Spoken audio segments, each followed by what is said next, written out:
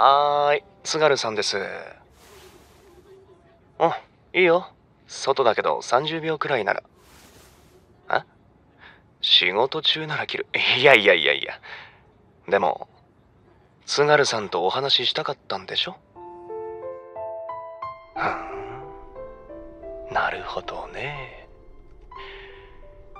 そこにいれば、俺に会えるもんね。だから